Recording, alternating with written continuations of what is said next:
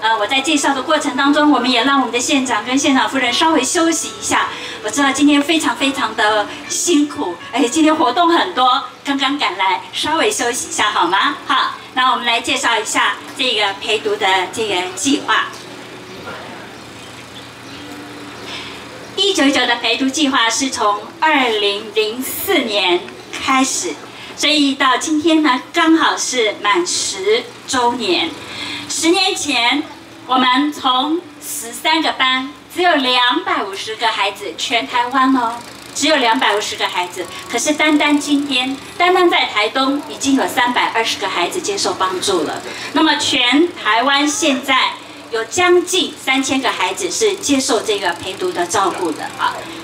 那么陪读班呢，提供什么样子的这一个服务给这些孩子呢？呃，我们提供的品格教育、课业辅导，还有才艺的训练，当然还有家庭的关怀。那么我们要达到的一些目标呢，包括帮助孩子们完成学校的课业，提供品格生命教育，降低儿童的负面情绪，希望帮助家长能够指导子女的课业。关怀访视这些家庭，支持老师教学的职能，让他们能够有动力照顾更多的孩子，这是我们要达到的目标。呃，那么我们每一个孩子呢，我们每一个月会补助那个班级一千两百块钱，所以这些钱呢，不是给孩子或者是给他的家庭，而是给陪读班，让陪读班能运用这些金钱。可能买这些呃教材，或者是提供晚餐，或者是提供老师的钟点费啊，呃或者是其他方面的需求，能够帮助孩子，让他们能够在这个陪读班里面，然后接受到完整的这个教育。啊，可能各位也许会对我们的孩子的来源，也许会觉得很好奇。呃，所有陪读班的孩子都是教会，或者是就说我们叫陪读班，他们去寻找出来的。所以大部分的孩子可能是学校介绍来的，那有可能是这一个村里长介绍的，也可能是亲戚朋友，或是旁边的邻居介绍来的，或者有一些就是同学介绍同学来的也有啊。那么我们的陪读班的这些的家长的这一个家庭的状况呢，呃，有半数是结组的。半数结组的意思就是说，很多人呢，他可能是离婚的家庭、丧偶的家庭、分居的家庭，甚至也有未婚生子的这个家庭。那么有正常婚姻状况的呢，目前只占百分之五十四。那么这些的孩子大部分是谁在照顾呢？呃，以母亲最多，占了四十四 percent，其次是父亲，然后才是祖父母。这些的孩子呢，我们经过调查发现了，在吃的方面、食的方面呢，有高达三十三点四的孩子啊，他们说经常或者是偶尔，他们交不起营养午餐费。不过我知道在台东是不用交的，对不对？所以台东孩子、台东的家庭是比较幸福的哈。在住的方面呢，有高达百分之二十点七。他们说家里啊是没有地方可以写功课的，啊，就像这个家庭一样，非常非常的乱哈。那有百分之十四呢，他们说家里呢要即使要做功课，可是光线不足。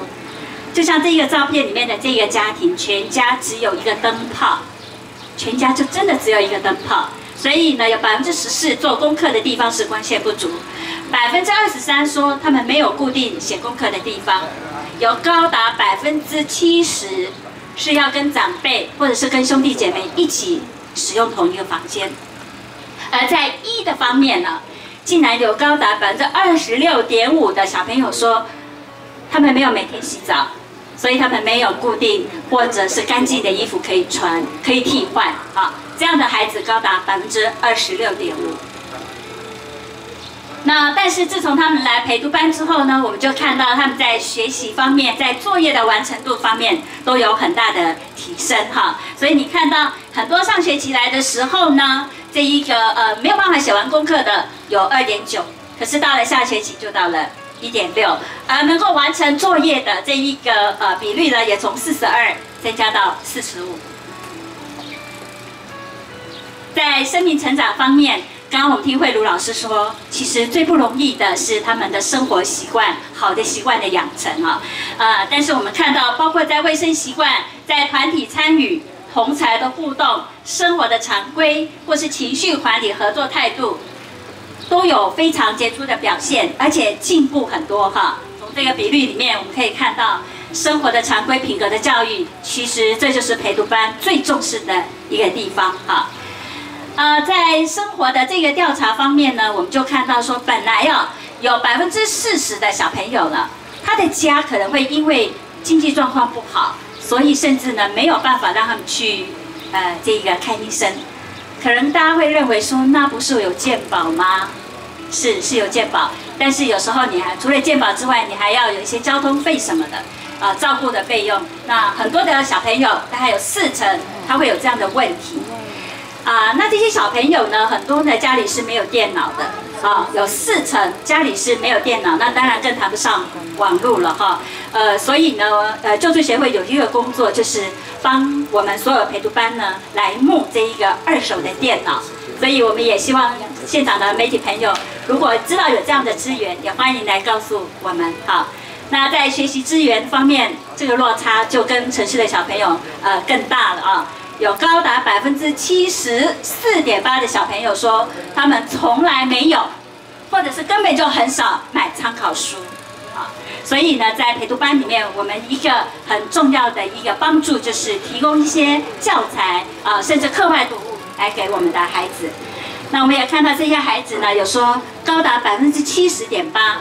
他们在放假的时候必须帮妈妈做事，或者是有时候还要去呃做一些能够跟经济有关的事情来贴补家用。